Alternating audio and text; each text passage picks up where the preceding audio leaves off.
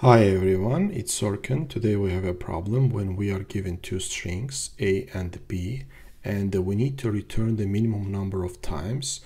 A should be repeated so B is a substring of it. So what's that mean? So for example, in this case we have A is A, B, C, D and we have a B. So in this case A is repeated three times. So this is the first time, this is the second time and this is the third time and after that b is a substring of so here b right? B is a substring of a. So b is a substring of a so we are returning 3 so how we are going to solve this problem? So let's take a step by step. So let's first add a once right? So we have a mm, once so let's add that here a b c d. So it's repeated once. So now the next one we are adding. So we are going to add a until the size of a at least equals to b or more or more than b because in order for b to be the substring of a it, the size should be equal to a or it should be less than a right? In this case b is more than a so we are adding a so we are repeating a until the size of it is equals or more than b. So we are, it's, it's repeated once, right? And the size of it is less than b. So we are adding one more time, a, b, c, d, second time, right? So here in this case also, the size of it is less than b, size of a is less than b. Let's call it temp, right? Temp string. So the, the size of this temp string, we repeated a twice, it's still less than b. So we are adding again one more time, a, b, c, d. So it's the third time. So it's the first one, right? It's the second one, and it's the third one. Now the size of it is, is more than b. So now what we do next step? So the next step is we are searching in our this new temp string. We are searching is it is b is a substring of is b is a substring of um, temp so uh, let's put our first rule. Our first rule is that uh, we are creating a new string, right? And we are adding temp. We are adding to our temp our a until the size of it is more than or equals to b. So if after that, after adding this, we are if after adding this the b is a substring of a then in that case we are returning that value. So for example in this case we are returning 3 so we have one more case. Let's say that the, our b is equals to b c d a and our a is equals to our a is equals to a, B, C, D.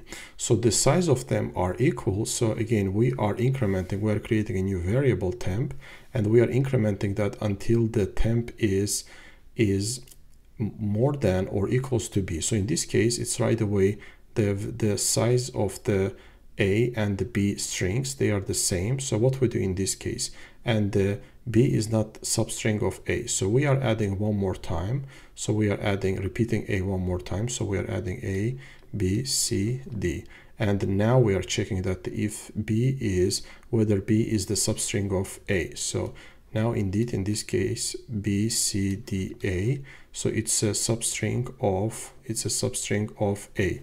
So the second rule we can put here so first we are creating a temporary variable temp and we are repeating a uh, number of times until the size of temp is more than size of b so then we are checking that if the b is a substring of temp that's the first one.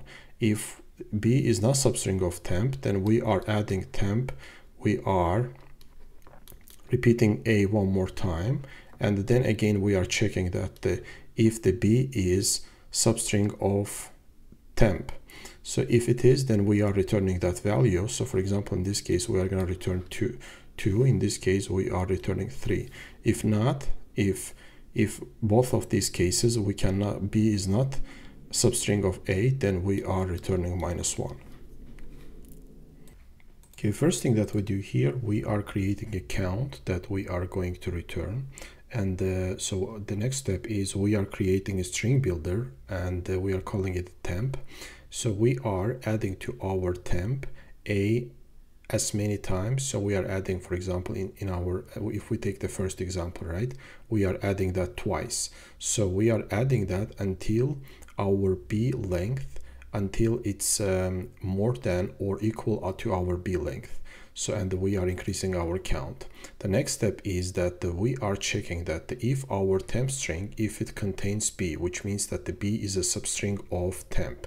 So if it is then we are returning our count. So for example again referring to our first example we are going to return 3 here. So the next one is that we are if it's not then we are adding a one more time as in our second example right? We are adding a one more time and again checking that uh, if b is a substring of our temp then if it is then we are returning count plus one because we added a one more time. If not then which means that the b cannot be substring of a doesn't matter how many times we are adding and we are returning minus one.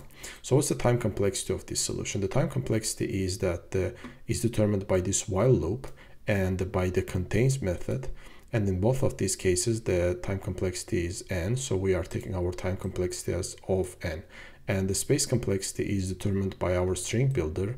And again the time complex space complexity in this case will be of n Okay, uh, that's it for today. Hope you like my content. If you like it, please hit the like button and subscribe my channel. See you next time. Bye.